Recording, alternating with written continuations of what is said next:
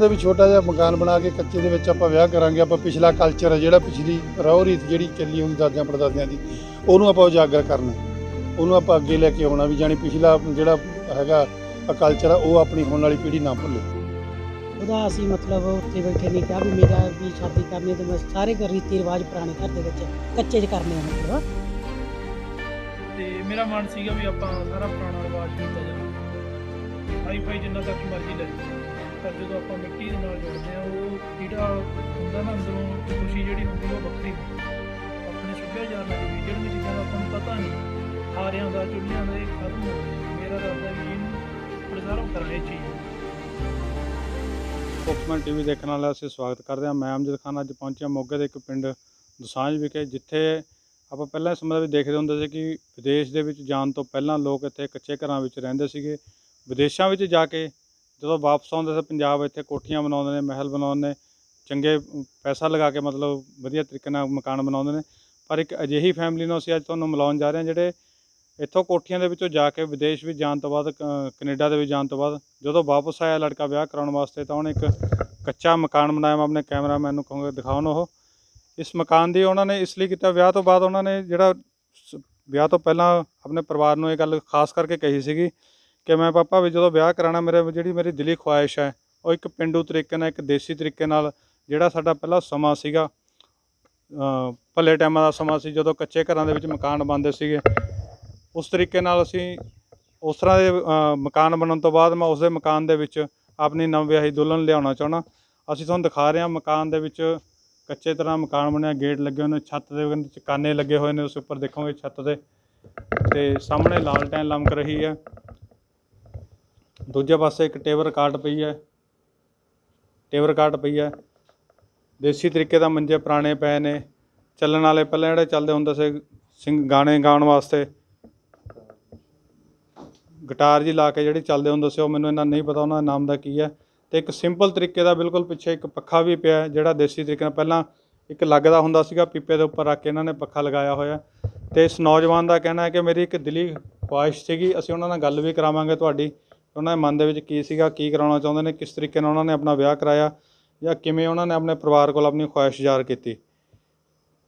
ਆਓ ਹੁਣ ਅਸੀਂ ਤੁਹਾਨੂੰ ਮਿਲਾਉਂਦੇ ਹਾਂ ਉਹਨਾਂ ਦੇ ਪਰਿਵਾਰ ਦੇ ਨਾਲ ਉਹਨਾਂ ਦੇ ਪਾਪਾ ਨਾਲ ਤੇ ਫੈਮਿਲੀ ਨਾਲ ਵੀ ਕੀ ਗੱਲ ਕਹਿਣਾ ਚਾਹੁੰਦੇ ਨੇ ਇਸ ਮਾਮਲੇ ਦੇ ਵਿੱਚ। ਸਾਡੇ ਨਾਲ ਮੌਜੂਦ ਨੇ ਇਸ ਮਕਾਨ ਦੇ ਮਾਲਕ ਗੁਰਦੇਵ ਸਿੰਘ ਅਸੀਂ ਉਹਨਾਂ ਨਾਲ ਗੱਲ ਕਰਨੀ ਚਾਹਾਂਗੇ ਵੀ ਉਹ ਇਸ ਸੰਬੰਧ ਦੇ ਵਿੱਚ ਕੀ ਕਹਿਣਾ ਚਾਹਣਗੇ। ਸਤਿ ਸ਼੍ਰੀ ਅਕਾਲ ਜੀ। ਸਤਿ ਸ੍ਰੀ ਅਕਾਲ ਜੀ। ਜਿਸ ਤਰ੍ਹਾਂ ਕਿ ਸਰ ਦੇਖਿਆ ਗਿਆ ਵੀ ਪੁਰਾਤਨ ਸਮੇਂ ਦੇ ਵਿੱਚ ਜਿਹੜੇ ਮਕਾਨ ਹੁੰਦੇ ਸੀ ਕੱਚੇ ਇਸ ਤਰ੍ਹਾਂ ਬਣਦੇ ਸੀਗੇ। ਹਾਂਜੀ। ਤੇ ਇੱਕ ਸਮਾਂ ਸੀਗਾ ਜਦੋਂ ਕੱਚੇ ਮਕਾਨਾਂ ਦੇ ਵਿੱਚੋਂ ਜਾ ਕੇ ਵਿਦੇਸ਼ਾਂ ਦੇ ਵਿੱਚ ਲੋਕ ਜਾਂਦੇ ਨੇ। ਹਾਂਜੀ ਉਧਰੋਂ ਆ ਕੇ ਨਵੀਆਂ ਕੋਠੀਆਂ ਬਣਾਉਂਦੇ ਨੇ। ਇਹ ਤਾਂ ਅਸੀਂ ਆਮ ਦੇਖਣ ਨੂੰ ਦੇਖਿਆ ਜਾਂਦਾ। ਹੈ। ਤੁਹਾਡਾ ਇੱਥੇ ਅਸੀਂ ਮਕਾਨ ਉਧਰ ਦੇਖ ਕੇ ਵੀ ਆਏ ਕੱਚ ਕੋਠੀ ਬਣੀ ਹੈ ਵਧੀਆ ਤਰੀਕੇ ਨਾਲ। ਤੁਸੀਂ ਕੋਠੀ ਬਣਾਉਣ ਦੇ ਬਾਵਜੂਦ ਤੁਸੀਂ ਵਿਦੇਸ਼ ਦੇ ਵਿੱਚੋਂ ਵਾਪਸ ਆ ਕੇ ਕੱਚਾ ਮਕਾਨ ਬਣਾਇਆ। ਇਹਦਾ ਕੀ ਕਾਰਨ ਹੈ? ਇਹਦਾ ਜੀ ਮੇਰਾ ਬੇਟਾ ਸੀਗਾ ਕੈਨੇਡਾ ਦੇ ਵਿੱਚ। ਉਹਨੇ ਮੈਨੂੰ ਪ੍ਰੈਸ ਕੀਤਾ ਵੀ ਜਾਣੀ ਆਪਾਂ ਕੱਚਾ ਮਕਾਨ ਬਣਾਉਣਾ ਜ਼ਰੂਰੀ ਆ। ਮੈਂ ਥੋੜੀ ਜਿਹੀ ਨਾ ਨੁੱਕਰ ਜੀ ਕਰਦਾ ਸੀ, ਉਹਦੀ ਮਾਂ ਮੇਰੇ ਬੇਟੇ ਦੀ ਮਾਂ ਜਿਹੜੀ ਸੀ ਮੇਰੇ ਘਰ ਵਾਲੀ ਉਹਨੇ ਵੀ ਮੈਨੂੰ ਪ੍ਰੈਸ ਕੀਤਾ ਵੀ ਚੱਲ ਬੇ- ਬੇਟਾ ਕਹਿੰਦਾ ਆਪਾਂ ਬਣਾਈਏ ਜ਼ਰੂਰ। ਫਿਰ ਮੈਂ ਕੋਸ਼ਿਸ਼ ਕੀਤੀ ਮਟੀਰੀਅਲ ਇਕੱਠਾ ਕਰਨ ਦੀ ਮਟੀਰੀਅਲ ਬਹੁਤ ਮੁਸ਼ਕਲ ਨਾਲ ਇਕੱਠਾ ਕੀਤਾ ਸੀਗਾ ਕਰਕੇ ਤੇ ਮੈਂ ਇੱਕ ਕੱਚਾ ਮਕਾਨ ਬਣਵਾਇਆ। ਇਹ ਤੁਹਾਨੂੰ ਬੱਚੇ ਨੇ ਕਿਉਂ ਪ੍ਰੇਰਿਤ ਕੀਤਾ ਇਸ ਮਕਾਨ ਬਣਾਉਣ ਵਾਸਤੇ? ਉਹ ਕਹਿੰਦੇ ਮੈਂ ਸ਼ਾਦੀ ਉਹਦਾ ਵਿਆਹ ਕਰਨਾ ਸੀਗਾ ਹੁਣ। ਵਿਆਹ ਤੋਂ ਉਹ ਕਹਿੰਦਾ ਵਿਆਹ ਤੋਂ ਪਹਿਲਾਂ ਮੈਂ ਕੱਚੇ ਮਕਾਨ ਦੇ ਵਿੱਚ ਹੀ ਸਗਨ ਵਿਹਾਰ ਸਾਰੇ ਕਰਨੇ ਆ ਤੇ ਕੱਚਾ ਮਕਾਨ ਜ਼ਰੂਰ ਬਣਾਉਣਾ। ਨਹੀਂ ਇਹ ਇਹ ਉਹਨਾਂ ਦੇ ਜਿਹੜੇ ਮਨ ਦੇ ਵਿੱਚ ਇਹ ਚੀਜ਼ ਆਈ ਹਾਂ। ਵੀ ਕੱਚਾ ਮਕਾਨ ਬਣਾ ਕੇ ਵਿਆਹ ਬਣਾਉਣਾ। ਹਾਂਜੀ। ਅੱਜ ਕੱਲ ਜਿਵੇਂ ਦੇਖਿਆ ਜਾਂਦਾ ਲੋਕ ਆਪਣਾ ਵਿਆਹ ਜਿਹੜੇ ਕਰਦੇ ਨੇ ਪੈਲਸਾਂ ਦੇ ਵਿੱਚ ਮਹਿੰਗੇ ਤੋਂ ਮਹਿੰਗੇ ਪੈਲਸਾਂ ਦੇ ਵਿੱਚ ਕਰਦੇ ਨੇ ਹਾਂਜੀ ਤੇ ਵੱਧ ਤੋਂ ਵੱਧ ਖਰਚਾ ਕਰਦੇ ਨੇ। ਹਾਂਜੀ। ਤੁਸੀਂ ਇੱਕ ਨਿੱਕਾ ਜਿਹਾ ਕੱਚਾ ਮਕਾਨ ਬਣਾ ਕੇ ਇੱਥੇ ਆਪਣੇ ਬੱਚੇ ਦਾ ਵਿਆਹ ਕੀਤਾ ਹੈ। ਹਾਂਜੀ। ਇਹਦੇ ਪ੍ਰਤੀ ਤੁਸੀਂ ਕੀ ਕਹਿਣਾ ਚਾਹੋਗੇ? ਇਹਦੇ 'ਚ ਆਏ ਜੀ ਉਹ ਕਹਿੰਦਾ ਵੀ ਛੋਟਾ ਜਿਹਾ ਮਕਾਨ ਬਣਾ ਕੇ ਕੱਚੇ ਦੇ ਵਿੱਚ ਆਪਾਂ ਵਿਆਹ ਕਰਾਂਗੇ। ਆਪਾਂ ਪਿਛਲਾ ਕਲਚਰ ਹੈ ਜਿਹੜਾ ਪਿਛਲੀ ਰਹੁ ਰੀਤ ਜਿਹੜੀ ਚੱਲੀ ਹੁੰਦੀ ਦਾਦਿਆਂ ਪੜਦਾਦਿਆਂ ਦੀ ਉਹਨੂੰ ਆਪਾਂ ਉਜਾਗਰ ਕਰਨਾ। ਉਹਨੂੰ ਆਪਾਂ ਅੱਗੇ ਲੈ ਕੇ ਆਉਣਾ ਵੀ ਜਾਣੀ ਪਿਛਲਾ ਜਿਹੜਾ ਹੈਗਾ ਕਲਚਰ ਆ ਉਹ ਆਪਣੀ ਹੋਣ ਵਾਲੀ ਪੀੜ੍ਹੀ ਨਾ ਭੁੱਲੇ। ਇਸ ਕਰਕੇ ਅਸੀਂ ਕੱਚਾ ਮਕਾਨ ਜੀ ਬਣਾਇਆ ਸੀਗਾ। ਤੇ ਬੇਟੇ ਵਿਆਹ ਤੁਸੀਂ ਇੱਥੇ ਮਕਾਨ ਦੇ ਵਿੱਚ ਹਾਂਜੀ ਇੱਥੇ ਹੀ ਕੀਤਾ। ਹੁਣ ਤੁਸੀਂ ਇਹ ਕੱਚਾ ਮਕਾਨ ਬਣਾ ਲਿਆ। ਹਾਂਜੀ। ਤੁਸੀਂ ਹੁਣ ਇੱਥੇ ਰਹਿਣਾ ਪਸੰਦ ਕਰਦੇ ਹੋ ਜਾਂ ਆਪਣੀ ਕੋਠੀ ਦੇ ਵਿੱਚ ਹੀ ਅਸੀਂ ਇੱਥੇ ਵੀ ਆਉਨੇ ਆ ਸਵੇਰ ਸ਼ਾਮ ਇੱਥੇ ਵੀ ਬਹਿੰਦੇ ਆ ਕੇ ਆਪਦੀ ਕੋਠੀ 'ਚ ਵੀ ਰਾਤ ਨੂੰ ਫਿਰ ਜਾਂਦੇ ਉੱਥੇ।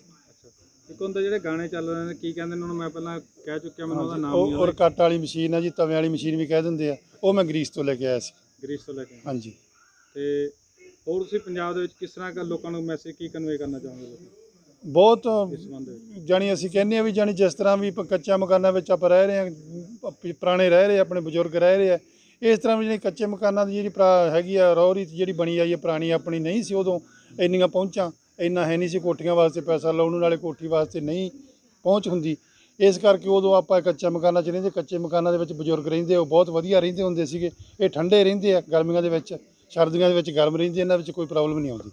ਤੁਸੀਂ ਵਿਦੇਸ਼ ਹੁਣ ਕਿਹੜੀ ਜਗ੍ਹਾ ਰਹਿੰਦੇ ਹੋ?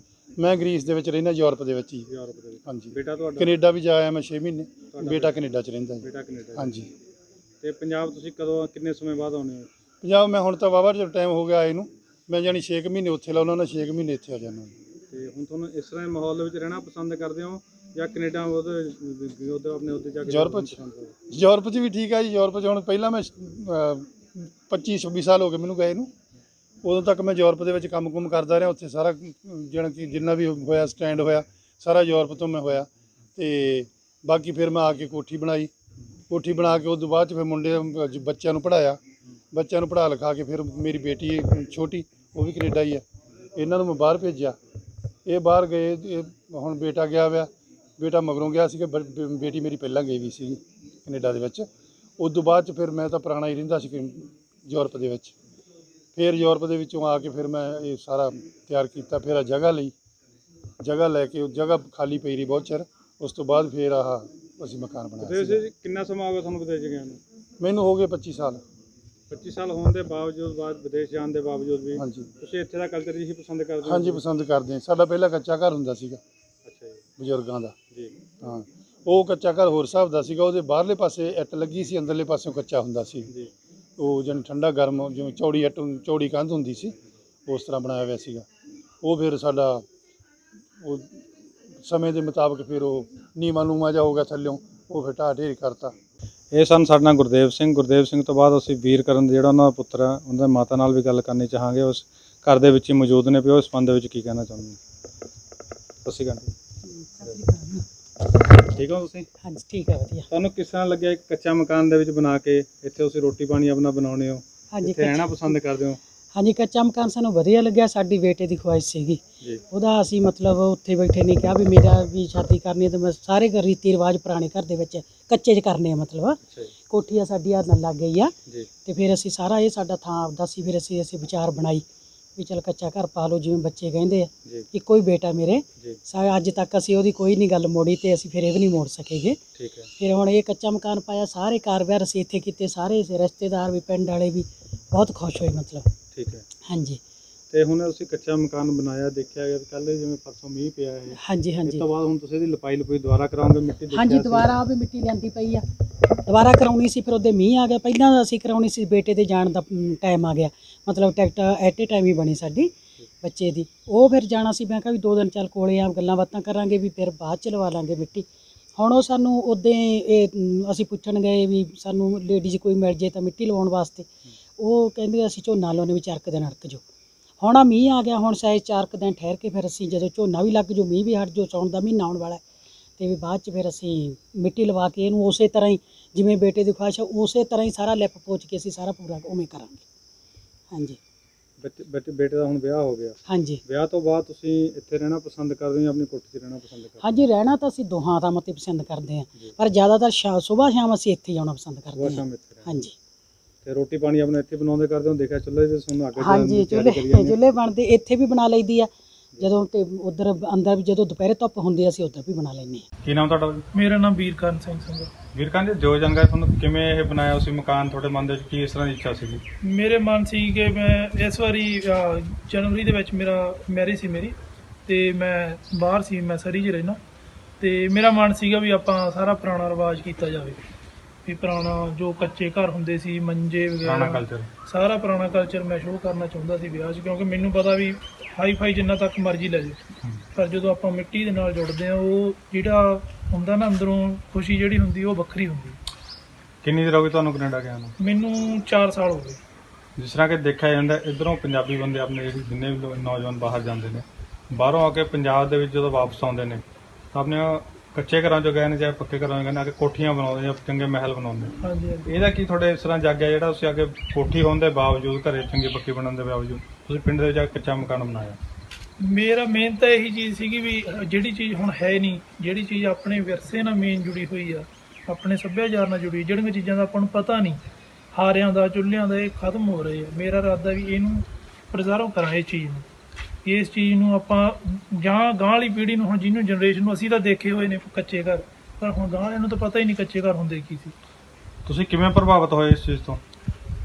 ਮੇਰਾ ਮੇਰਾ ਮਤਲਬ ਕਿਤੇ ਦੇਖਿਆ ਤੁਸੀਂ ਇਸ ਮੈਂ ਤਰ੍ਹਾਂ ਸਰ ਮੇਰੇ friend- ਦੇਖਿਆ ਕਿਸ ਤਰ੍ਹਾਂ ਫਰੈਂਡ ਦੇ ਘਰੇ ਦੇਖਿਆ? ਮੇਰੇ ਸੀਗਾ ਇਹ ਮੇਰੇ ਫਰੈਂਡ ਦੀ ਪ੍ਰੀ ਵੈਡਿੰਗ ਸੀਗੀ ਉੱਥੇ।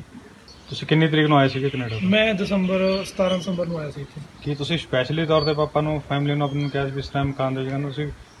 ਹਾਂਜੀ ਇਹ ਮੇਰਾ ਜਨੀ ਰੋਕਾ ਹੋ ਗਿਆ ਸੀ ਸਾਲ ਪਹਿਲਾਂ।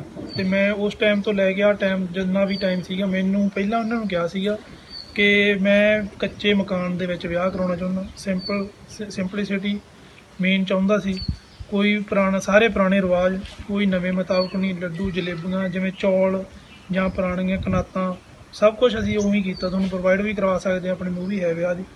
ਤੇ ਸਾਰਾ ਪੁਰਾਣਾ ਕਲਚਰ ਆਪਾਂ ਮਾਈਆਂ ਵਗੈਰਾ, ਜੋ ਵੀ ਹੈ, ਸਾਰਾ ਇੱਥੇ ਇਸੇ ਮਕਾਨ 'ਚ ਕੀਤਾ, ਇੱਥੇ ਹੀ ਸਾਰੇ ਰੌਣਕ ਲਾਈ।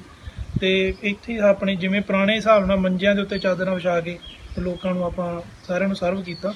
ਤੇ ਉਹੀ ਚੀਜ਼ ਲੋਕਾਂ ਨੂੰ, ਜਿਹੜੇ ਬਜ਼ੁਰਗ ਨੇ ਉਹਨਾਂ ਨੂੰ ਉਹ ਚੀਜ਼ ਇੱਕ ਵਾਰੀ ਅਹਿਸਾਸ ਕਰਾਤਾ ਵੀ ਆਪਾਂ ਪਿਛਲੇ ਵਿਆਹ ਕਿਵੇਂ ਜਾਂਦੇ ਹੁੰਦੇ।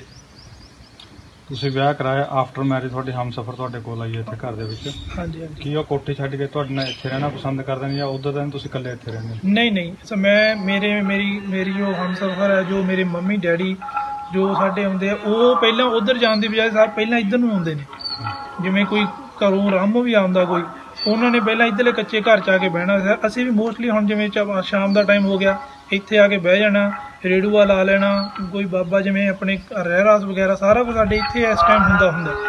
ਤੇ ਯਾਨੀ ਉਵੇਂ ਜਿਵੇਂ ਪੁਰਾਣੇ ਸਮੇਂ ਦੇ ਵਿੱਚ ਹੁੰਦਾ ਸੀ, ਉਹੀ ਚੀਜ਼ ਫੀਲ ਹੁੰਦੀ ਮਿੱਠੀ ਮਿੱਠੀ ਹਵਾ ਜੀ। ਤੇ ਯਾਨੀ ਬਹੁਤ ਵਧੀਆ ਲੱਗਦਾ, ਸਾਰਾ ਪਰਿਵਾਰ ਇੱਕ ਥਾਂ ਤੇ ਬਹਿ ਕੇ ਟਾਈਮ ਸਪੈਂਡ ਕਰਦੇ ਆ। ਕਰਨਾ ਨਾਂ ਵੀਰਕਰਨ ਸਿੰਘ ਦੇ ਮਾਤਾ-ਪਿਤਾ ਸਿੰਦਰ ਕੌਰ ਤੇ ਗੁਰਦੇਵ ਸਿੰਘ, ਉਹਨਾਂ ਨੇ ਦੱਸਿਆ ਵੀ ਕਿਸ ਨਜ਼ਰੀਏ ਨਾਲ ਉਹਨਾਂ ਨੇ ਆਪਣੇ ਬੱਚੇ ਦੀ ਖੁਆਇਸ਼ ਪੂਰੀ ਕਰਦੇ ਆ। ਉਹਦੇ ਵਿਆਹ ਕਰਨ ਤੋਂ ਪਹਿਲਾਂ ਇੱਕ ਪੁਰਾਣਾ ਮਕਾਨ ਰੀਤੀ ਰਿਵਾਜ ਦੇ ਨਾਲ ਮਕਾਨ ਬਣਾਇਆ ਤੇ ਉਸੇ ਤਰੀਕੇ ਨਾਲ ਉਹਦਾ ਉੱਥੇ ਵਿਆਹ ਕਰਾਇਆ। ਸਪੋਕਸਮੈਨ ਟੀਵੀ ਦੇ ਲਈ ਮੋਗਾ ਤੋਂ ਅਮਜਦ ਖਾਨ ਦੀ ਵਿਸ਼ੇਸ਼ ਰਿਪੋਰਟ।